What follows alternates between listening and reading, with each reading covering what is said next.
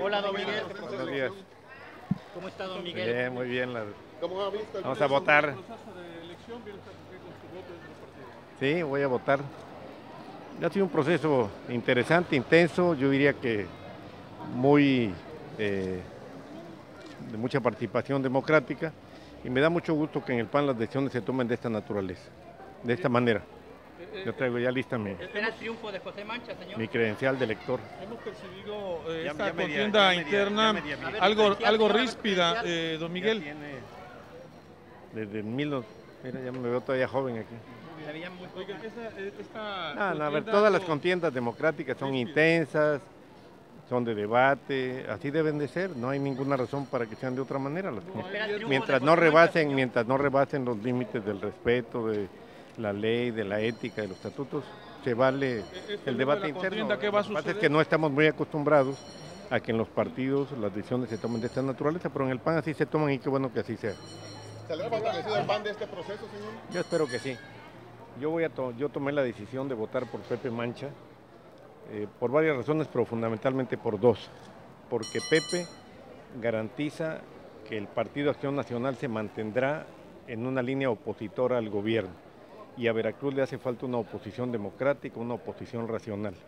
Con Pepe, el Partido Acción Nacional no se entregará al gobierno del Estado ni a Morena mantendrá una línea de autonomía. Segundo, yo soy un hombre leal y agradecido.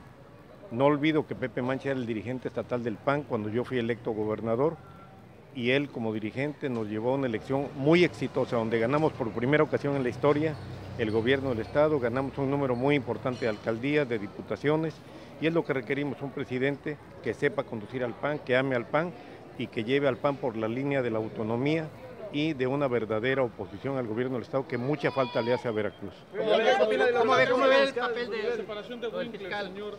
¿Qué opina de la separación del fiscal? Con un tema tan delicado para Veracruz como la eh, separación de Jorge. La verdad, un asunto que han calificado de, de- de grave, el de la actuación del Voy a hacer un de- una, una declaración específica sobre el tema, pero no hoy, vengo a un tema interno del PAN. y, la- las denuncias que han puesto los que los. Ya le dije. su opinión sobre la columna que saca eh, hoy Duarte, que da a conocer, en donde supuestamente eh, dice que pactó con ustedes el que Fernando No, no, no le he leído. senador. ¿Usted No, la- con Duarte, no, la, no la he leído y no la leeré, obviamente tengo muchas otras cosas interesantes que leer. Estoy leyendo varias cosas, tres, dos que se las comparto, uno que no creo que les interese mucho. Estoy leyendo un libro de Voltaire que se llama Cándido, que es un libro extraordinario de humor negro. Estoy leyendo la última novela de Paul Auster que se llama 4321, un autor norteamericano. Y estoy leyendo otro libro muy interesante sobre el servicio secreto de los Estados Unidos. ¿Usted Esa- Duarte, señor? ¿Usted con Duarte? Miguel, va a posturas más adelante porque se ha mantenido. ¿Va qué, perdón? Va a haber posturas más adelante de parte de usted porque se ha mantenido al margen, ¿no? De todo lo que ha sucedido. La política de Veracruz.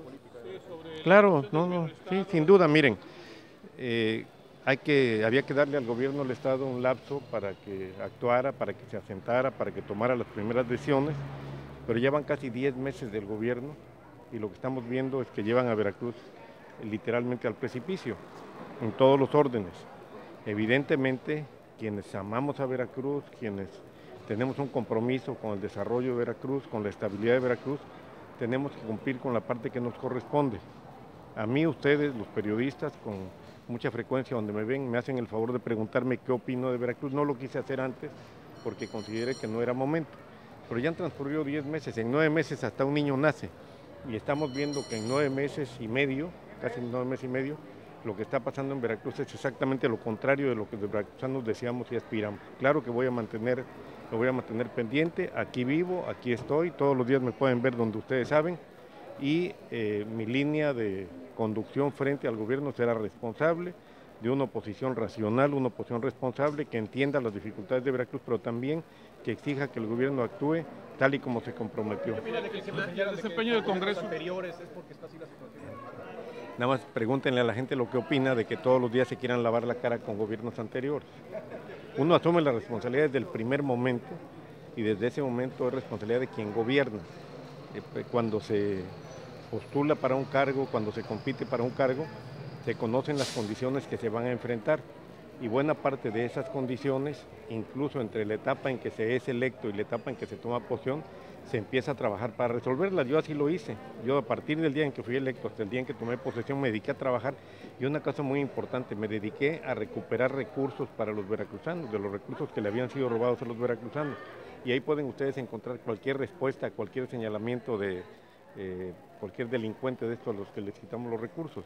Me dediqué durante seis meses a recuperar recursos y ustedes recordarán, y no me canso de decirlo y me siento muy orgulloso de decirlo, que recuperamos en efectivo, no, no sé si son 820 o 840 millones de pesos, y en bienes inmuebles como 500 millones de pesos, entre bienes inmuebles y bienes muebles. Y eso fue lo que el gobernador hizo. Me dediqué también a planear lo que íbamos a hacer entrando para resolver la crisis financiera terrible que nos encontramos, 20 mil millones de déficit.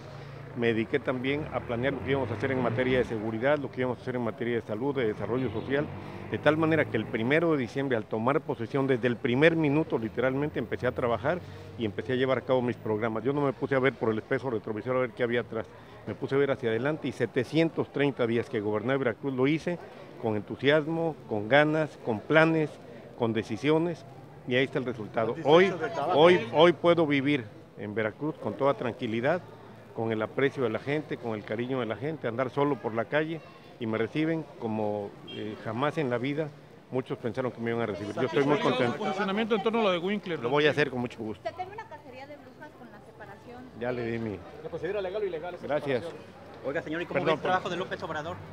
Ya voy a hacer una declaración al respecto. Gracias. Usted decía que era un delincuente.